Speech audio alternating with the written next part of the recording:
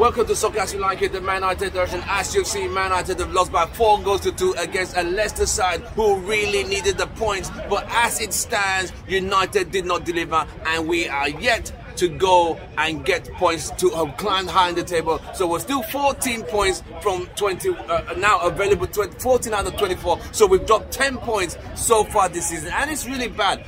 There's one point in losing, there's one point in losing very badly. Today was a game we lost badly. Maguire, no one saw Maguire started this game because we are all putting down that he wasn't fit, he wasn't ready. But Ole, I don't know who selected or who made the decision, but all it was obvious Maguire was not fit to play this game. And it was obvious, you could see he struggled, he made the mistake for the first goal. He was just not at the races today. His passing was off, but this is where we are as Manchester United. But you got to look at this from a critical angle. Leicester needed this game. They had only one two games prior to this match. They needed the game. They took the game. Tielemans was literally running the show throughout. He scored a fantastic goal. United scored a beautiful goal from Mason Greenwood. Then we sit back, concede a goal, concede another one.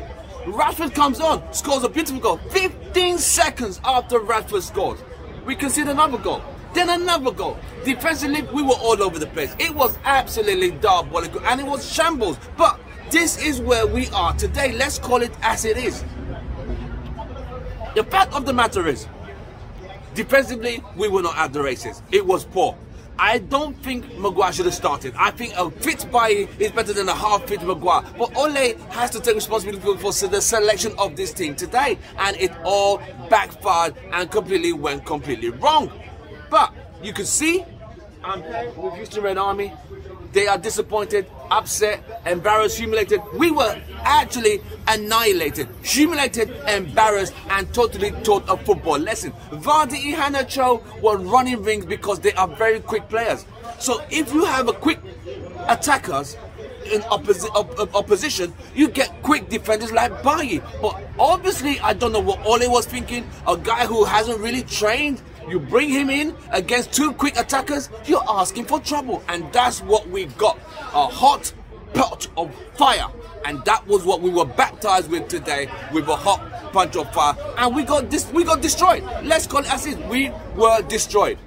It's sad. Don't forget to like, share, subscribe. I'm Tim Russell, host. After the game that United have lost by four goals to two, I've had the match reactions. Watch our videos and tell us what you think. I'm going to be doing another match reaction tomorrow for the global team, and we'll take it from there. I'm out of here. We really got to do better. Will we beat Atalanta? Will we beat Liverpool? I don't know. I'm not even convinced. I'm not even confident we could beat Atalanta or even win the game against Liverpool on Sunday. I'll see you guys. From me, it's goodbye and good night.